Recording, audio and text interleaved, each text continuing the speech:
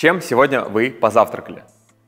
Да, я обращаюсь вот прямо к вам, который только что увидел меня, это видео. Попробуйте ответить на вопрос, и мы сегодня как раз-таки разберем, с чего вообще должно начинаться утро, надо ли завтракать, надо ли делать какие-то аффирмации, может быть, дыхание маткой надо сделать, а может быть, нужно поставить цели на день. На связи Панасюк Николай, онлайн-школа фитнеса, нутрициологии GetFit. Давайте с вами начинать разбираться в важных привычках.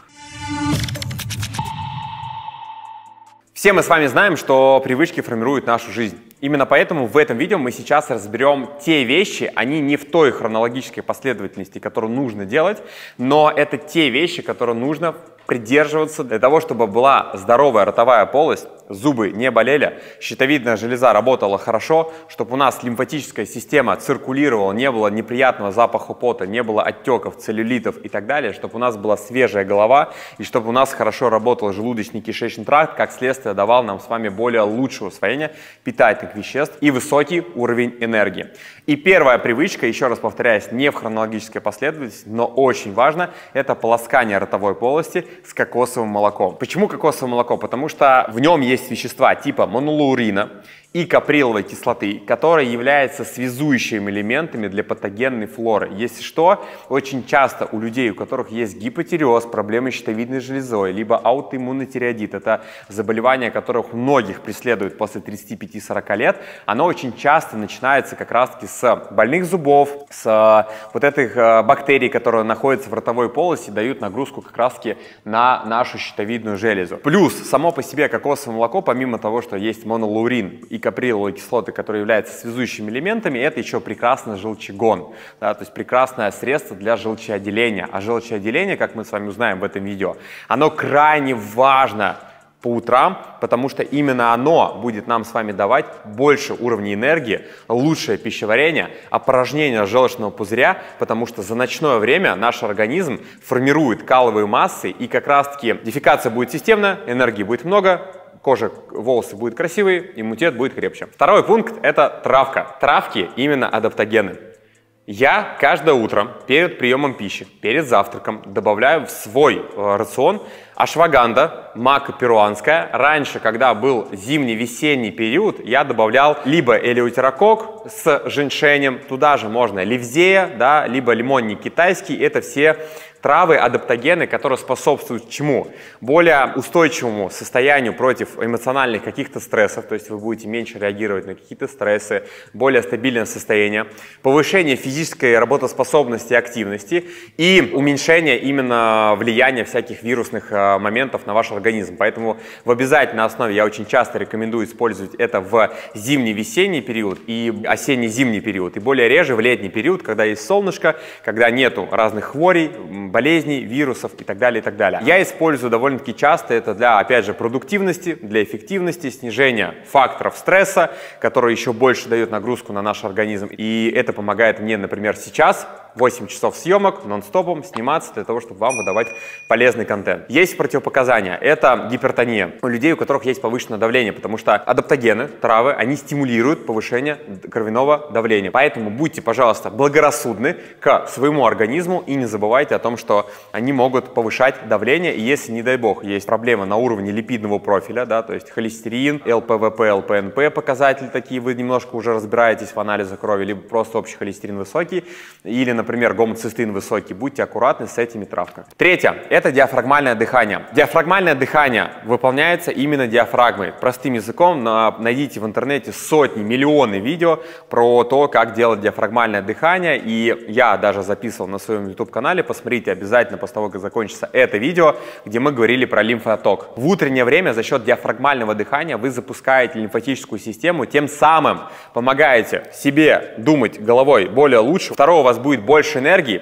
Третье, у вас будет меньше запах пота, то есть он будет запах, но не такой едкий, потому что лимфатическая система – это некая канализация в нашем организме. Если она застаивается, это все выражается внешне, в запахе, в коже, в состоянии мозга и так далее, и так далее. Четвертое, опять же, вопрос влияния на целлюлит. Это то, что, на что влияет как раз-таки хорошая работа лимфатической системы. И сюда же, как я сказал, можно добавить 50-100 приседаний в зависимости от вашей физической подготовки, которые можно разбить на 3-4 4 подхода и делать в течение 5-7 минут. Самое главное, вы должны делать не на скорость. вы должны сделать объем. Я очень часто говорю, что объем побеждает скорость. Неважно, с какой скоростью ты надрываешь свои сфинктеры, важно, как часто, системно и накапливающим элементом ты это делаешь. Поэтому лучше читать книжку 20 страниц в день, но как бы системно, чем один день сесть полкниги прочитать и потом забить на несколько месяцев, потому что у тебя отторжение от этого дела. И поэтому 50-100 приседаний лучше, чем ничего, и это в том числе помогает желчеотделению, помогает работе перистатики кишечника, помогает лимфатической системе, и вы чувствуете себя лучше, энергии больше, работоспособность выше и, как следствие, более продуктивный день. У меня есть история.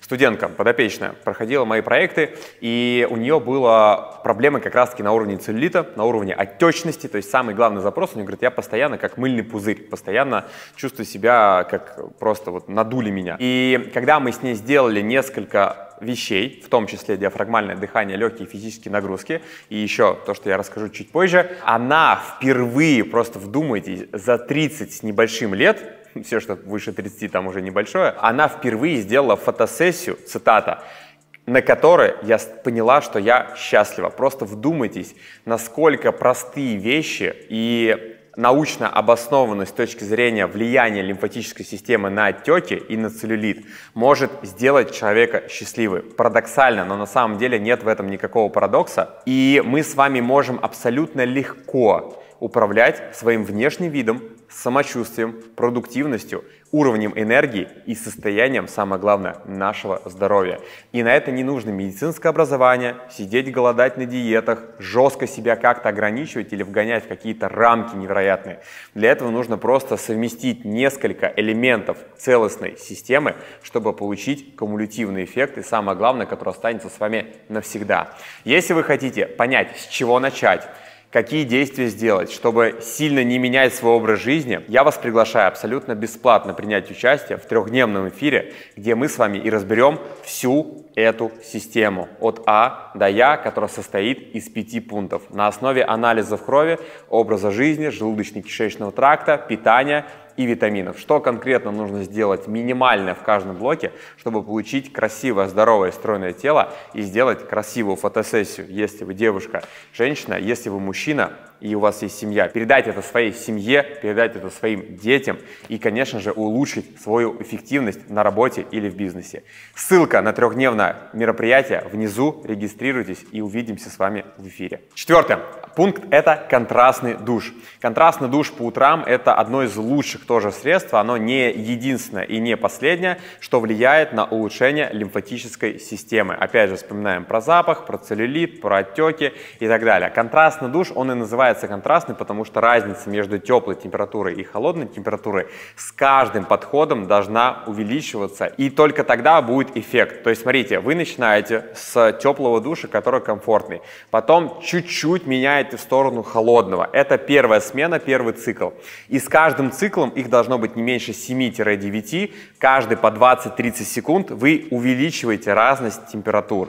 И в этом случае вы улучшаете работу лимфатической системы, и параллельно, если вы еще сделаете приседания и диафрагмальное дыхание, которое не занимает много времени, вы совсем по-другому себя будете чувствовать. Не за день, не за два, но как минимум через пару дней точно. Просто доверьтесь и поверьте. Если вы все сделаете правильно, вы почувствуете эти улучшения. Пятый пункт, очень короткий, просто добавь воды. Перед тем, как мы, например, с вами добавили полоскание кокосовым э, молоком, да, там, или кокосовыми сливками, мы, естественно, начинаем с минимум стакана теплой воды, не газированной, можно без лимона, начните хоть с какой-то пить воды. И не заморачивайтесь по поводу восстановительного баланса воды и так далее, и так далее, потому что многие люди, изучая информацию, еще больше копаются в эти тонкости и вообще ничего не начинает. Лучше что-то как-то, чем ничего и никак. Это самый главный лично мой принцип.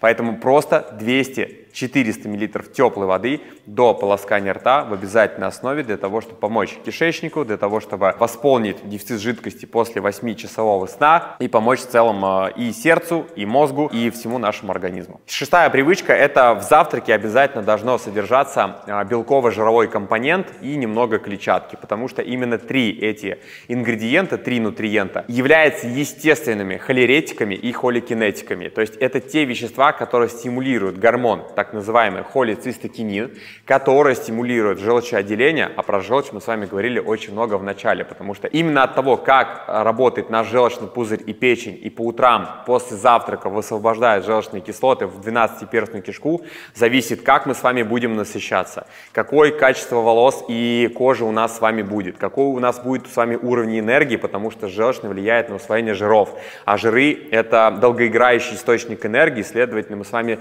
сможем дольше быть без еды, не перекусывать, не хотеть есть, и у нас будет больше работоспособность и энергия. Ну и, конечно же, нейтрализует всю патогенную флору в нашем кишечнике, тем самым препятствует заболеваниям, вирусам всяким и так далее, и так далее. Поэтому в приеме пищи в обязательном основе должно быть белок, жиры, клетчатка. Желток, печень трески, яичный белок, слабосоленая рыба и так далее, и так далее. И, кстати, если будет внизу запросов много про полезные завтраки, обязательно внизу пишите, потому что мы тогда, если будет много запросов, сделаем отдельное видео, что можно есть помимо яиц, которые все знают про омлет, яичницу, там вареные яйца, это мы тоже затронем, в каких интерпретациях можно делать, но еще затронем, какие еще могут быть полезные завтраки с учетом того, чтобы это было полезные белки, белки, полезные жиры и клетчатка, чтобы стимулировать наше желчеотделение. Если вам реально это важно, пишите в комментариях, что хотите это видео, и мы читаем, калибруемся от вас и делаем, если это будет актуально для многих. И последнее, надо, конечно же, утром покакать с улыбочкой и сделать это максимально быстро. Дефикация должна проходить не более 5-7 минут и не должно оставаться ощущение, как будто бы ты не закончил свое дело. Киллер начал делать свое дело, но не закончил делать. Вот, такого состояния быть не должно, поэтому очень важно, чтобы вы опорожнили кишечник по утрам. Опять же, для этого воду не забываем, потому что желчный кислот состоит на 97% из воды. Не забываем про наличие белков и жиров, да, то есть, э, которое стимулирует холецистекинин, желчеотделение, а именно оно слабит и тем самым э, призывает к позывам дефекации. Вот, это супер важно. Почему важно это сделать? Потому что если вы не покакаете, будет интоксикация вашего организма. Понятно, что вы сможете работать, вы сможете жить, вы сможете что-то делать, но лучше покакать, чем не покакать, потому что, еще раз повторяюсь, все, что в вашем кишечнике, оно остается, оно вырабатывает же много очень неприятных веществ, и это все у вас абсорбируется обратно в вашем кишечнике и дает некую нагрузку и интоксикацию на ваш голову, на ваш мозг и так далее. Я очень часто говорю, что плохо покакал, плохо думаешь.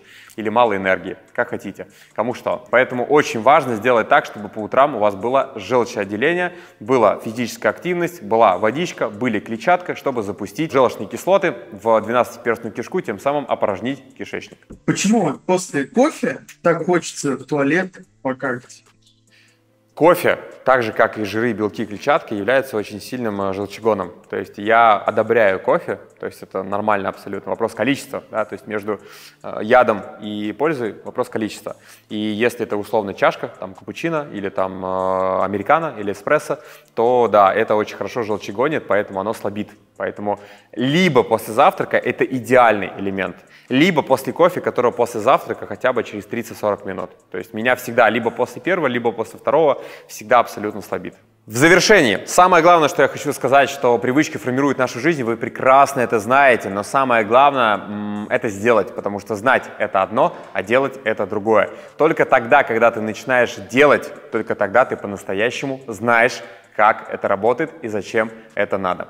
Спасибо за то, что смотрите канал, спасибо за то, что комментируете, делитесь со своими родными, близкими, если тема им это актуально тоже. И следите за своим здоровьем и за нашим YouTube-каналом. С вами был Панасюк Николай, онлайн-школа фитнес и нутрициологии GitFit. Со сим прощаюсь. Пока.